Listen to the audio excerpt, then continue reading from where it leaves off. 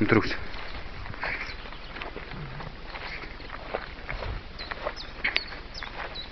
Jsem jsme harul.